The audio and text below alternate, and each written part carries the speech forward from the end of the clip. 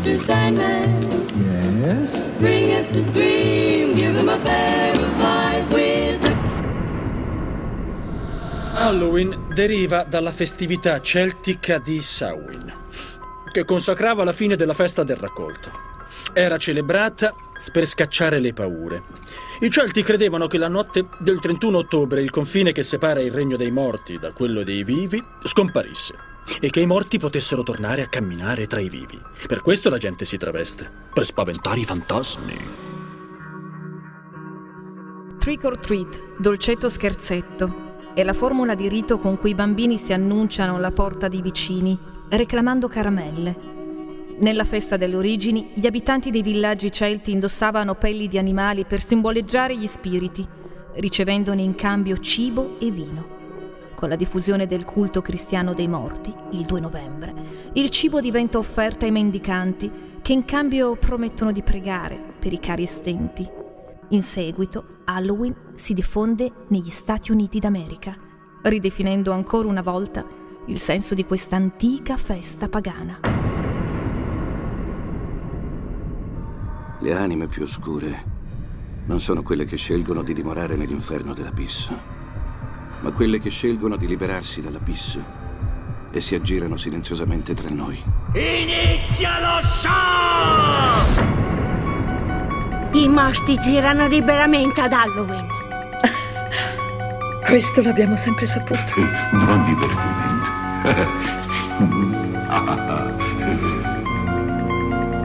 Sono Maria Teresa Mirelli. Benvenuti nel nostro speciale Halloween. È la notte di Halloween ed è giusto raccontarvi alcune storie dell'orrore realmente accadute. Nel 2012 una bimba di 9 anni della Pennsylvania è morta uccisa da un parente che le ha sparato credendola una puzzola. La bimba indossava un costume bianco e nero. Nel 1974 Ronald Clark O'Brien avvelenò il figlioletto di 8 anni mettendo cianuro nelle sue caramelle e in quelle della figlia. Il tutto per riscattare il premio dell'assicurazione sulla vita. È stato giustiziato nel 1984. Nel 1992 Yoshiro Hattori, uno studente arrivato in Louisiana con un programma di scambi studenteschi, è stato colpito a morte da un uomo che lo credeva un ladro. Ma il ragazzo stava solo cercando la casa dove si svolgeva la festa a cui era stato invitato. Nel 1998 Carl Jackson, 21 anni, accompagna la sua ragazza a prendere il figlioletto che era andato ad una festa per bambini. Mentre aspettava in macchina, alcuni ragazzini hanno cominciato a colpirlo con delle uova.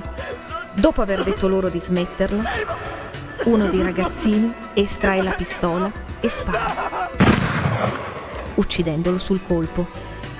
Nel 2004 Adrienne Insogna, Leslie Ann Mazzara, Lauren Meanza, tre studentesse di Napa Valley in California, trascorsero la serata a fare dolcetto scherzetto. Dopo essere andate a dormire, nel cuore della notte, Lauren viene svegliata dall'agghiacciante grido di Adrienne, che viene trovata moribonda e trafitta da diverse coltellate. Accanto a lei anche Leslie Ann stava morendo. Ad ucciderle era stato un amico del fidanzato di Adrienne, geloso dell'amicizia tra le due ragazze. Sotto stretta sorveglianza perché è fortemente sospettato dei brutali omicidi. Il massacro di questo terribile Halloween insanguinato è stato definito dalla polizia in stile Manson per la sua ferocia ed è più agghiacciante di qualsiasi film dell'orrore girato a Hollywood. Il corpo è stato trovato riverso in una pozza di sangue lungo il corridoio del piano superiore. Sul suo cadavere ci sono i segni di ben 17 coltellate. Nel prossimo collegamento fornirò altri dettagli su questa tragedia.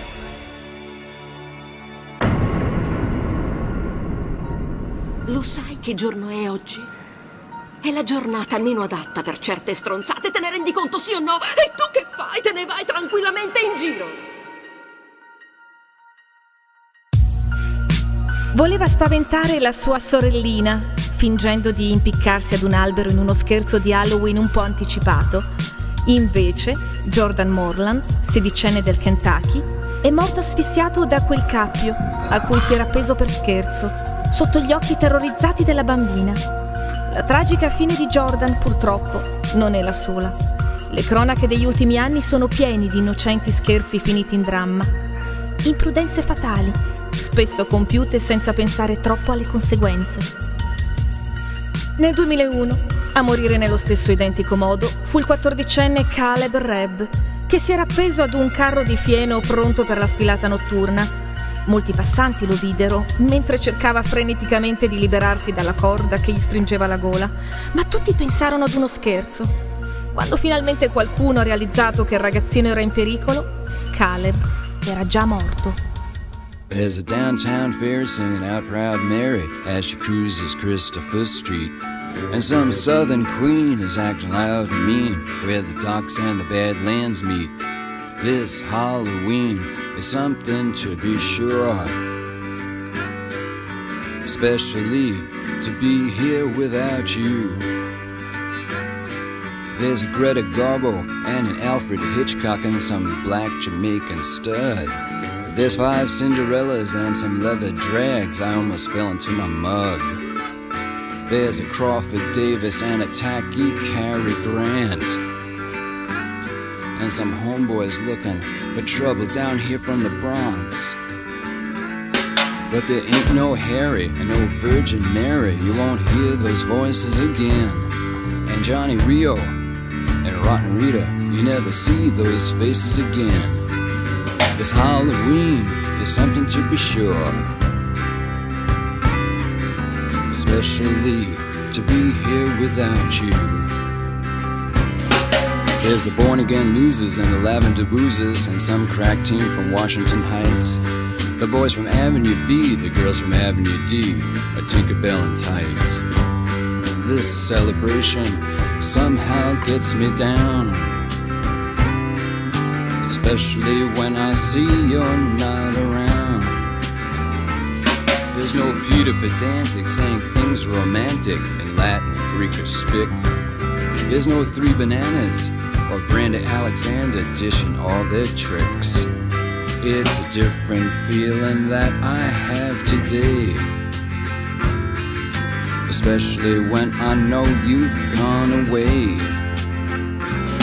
There's a girl from Soho with a t-shirt saying I blow. She's with the Jive 5 2 plus 3. And the girl for pay dates are giving cut rates or else doing it for free.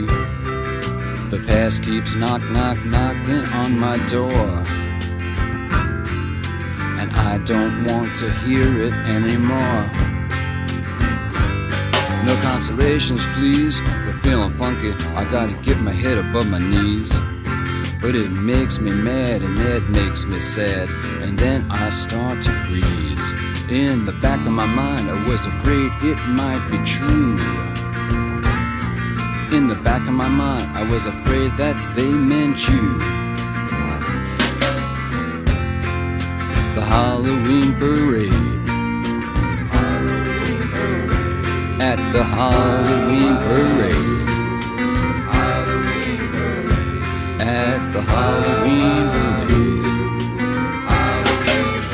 See you next year at the Halloween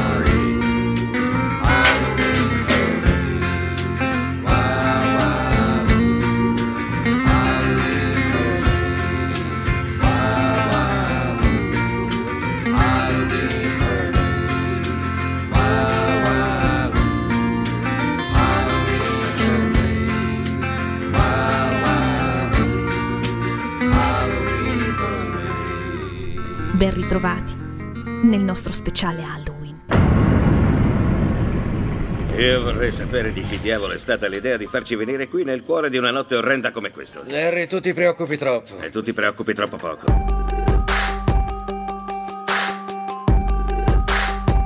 La parola witch, strega in italiano, deriva dall'inglese antico e significa donna saggia. La strega è simbolo di Halloween perché la leggenda vuole che proprio la notte di Halloween le streghe compiano i loro raduni. Un'antica tradizione scozzese sosteneva che una ragazza avrebbe visto il volto del suo futuro marito se avesse steso delle lenzuola bagnate davanti ad un fuoco la notte di Halloween. Secondo la tradizione, se la notte di Halloween si indossano i vestiti al rovescio e si cammina all'indietro, si vedrà una strega. Chi non ricorda il processo alle streghe di Salem? Si svolse nel 1692 nel suo omonimo villaggio. In precedenza già 13 persone erano già state giustiziate nel New England per lo stesso reato, quello di stregoneria ovviamente, nel corso di una caccia alle streghe durata dal 1647 al 1688. Ma la nuova caccia alle streghe a Salem e il processo del 1692 inaugurarono la maggior serie di accuse, incriminazioni, processi ed esecuzioni capitali mai inflitte nelle colonie inglesi nordamericane per il reato di stregoneria.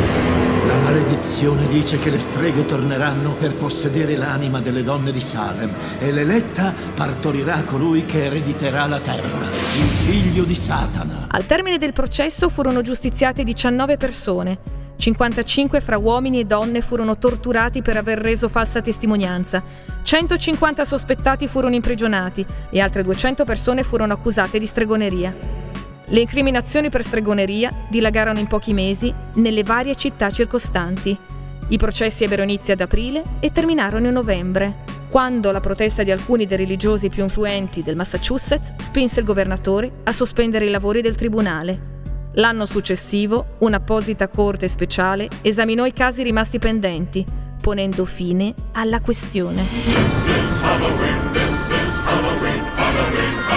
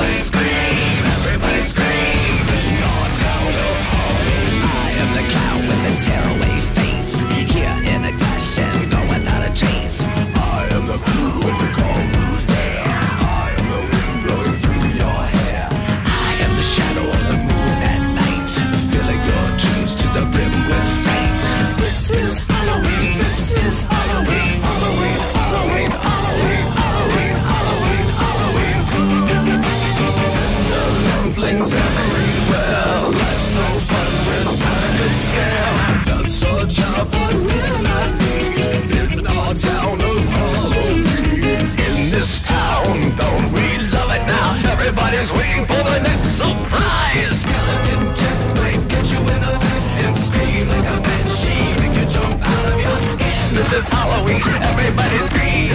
Won't you please make way for very special guy? Our man Jack is king of the pumpkin patch. Everyone hail to the pumpkin king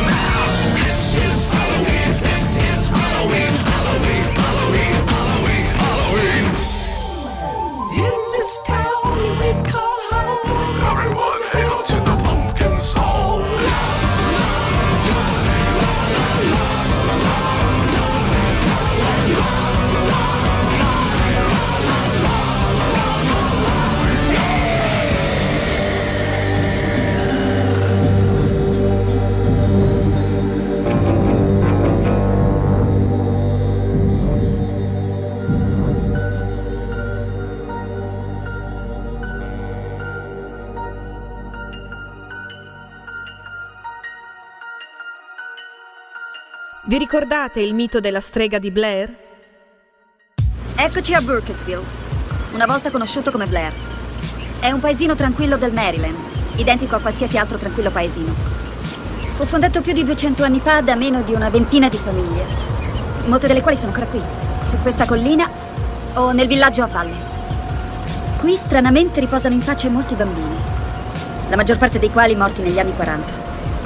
Ciononostante nessuno in paese sembra ricordarsi bene di questa oscura faccenda, o forse non si vuole ricordare. Ma la leggenda narra ben altro, e di memoria in giro ce n'è parecchia. Scolpita nella pietra. Era febbraio 1785. Alcuni bambini del villaggio di Blair accusano una donna irlandese di nome Illy Kidward di cose orribili. Secondo i loro racconti, la strega attira i giovani nella sua casa con il solo scopo di cavarne il sangue. La donna viene chiaramente accusata di stregoneria e allontanata dal villaggio. Gli abitanti la considerano morta a causa del rigido inverno appena trascorso, ma arriva novembre 1786 e tutti i bambini che accusarono Illy scomparvero nel nulla. A novembre del 1809 viene pubblicato Il culto della strega di Blair, libro di narrativa che narra le vicende di un villaggio maledetto. E nel 1824 nasce il villaggio di Burkittsville, nel luogo in cui prima sorgeva quello di Blair. Eh sì, io ci credo come alle storie delle streghe, dei fantasmi, ci ho sempre creduto. E credi che ce ne siano in questa zona? Come no? Era l'agosto 1825 quando 11 persone affermano di aver visto Ellen Trickle, fanciulla undicenne del luogo, afferrata e trascinata nel torrente di Tappy East da una pallida figura femminile. Il corpo non venne mai ritrovato. Iniziano a comparire le famose figure di forma umana fatte da rami di alberi. Chiunque qui ha un po' di sale in zucca sa che questo posto è stato infestato da quella vecchia piranha. È marzo 1886 e una bambina di 8 anni, Robin Weaver, sparisce nei boschi. Si organizza immediatamente una squadra per ritrovarla. Robin ritornerà da sola, affermando di aver incontrato una donna che si muoveva fluttuando. Questa strana figura l'aveva portata in una casa nel bosco e le aveva detto di attenderla nel sotterraneo. La bambina, impaurita, era riuscita a scappare. La squadra di soccorso viene però data per dispersa. Si inoltrarono nel bosco pronti a incontrare la morte. Si trovarono di fronte a un'autentica profanazione dell'umanità nel luogo che i cercatori d'oro chiamavano Coffee Rock. Su varie rocce c'era traccia di una storia di tortura, inflitta a cinque uomini coraggiosi. Ognuno di essi era legato all'altro, la mano di uno legata al piede del successivo, creando una singolare struttura umana. Le tracce di sangue ai lati delle teste mostrano che la barbarie fu commessa quando questi uomini erano ancora vivi e avevano sufficienti energie per tentare di liberarsi. Gli uomini che li trovarono ancora sotto shock per l'orrore della scena vista abbandonarono il posto per avvisare lo sceriffo. Non annotarono niente sulle scritte né rimossero i cadaveri dalle rocce. Sulla via del ritorno furono avvistati degli avvoltoi sopra le rocce, ma dopo un'accurata ispezione fu accertato che i corpi erano stati rimossi da sconosciuti. La squadra di ispezione notò che l'odore di morte era ancora intenso e chiunque avesse rimosso i cadaveri era riuscito a farlo in un paio d'ore. Tutto è accaduto qui, a Coffin Rock. Tra il 1940 e il 1941 ben sette bambini vengono rapiti nei dintorni di Burkesville. Uh, doveva essere l'autunno o l'inverno del 1940. Alcuni bambini cominciarono a sparire, nessuno, nessuno sapeva il perché, il perché di quelle sparizioni. È una storia piuttosto spaventosa.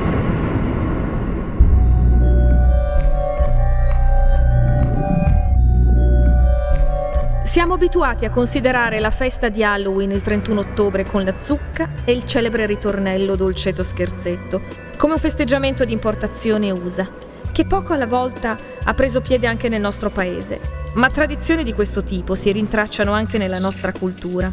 Zucche, offerte di cibo e filastrocche recitate alla vigilia di ogni santi, compaiono infatti anche nella tradizione popolare di molte regioni. In Val d'Ossola, siamo nella regione Piemonte, dopo la cena di rito, le famiglie lasciavano le case vuote e la tavola imbandita, perché gli spiriti dei trapassati potessero ristorarsi in pace. Stessa usanza in Sardegna, dove in più i bambini facevano il giro del paese bussando alle porte e sussurrando morti, morti, per avere in cambio dolci e frutta secca.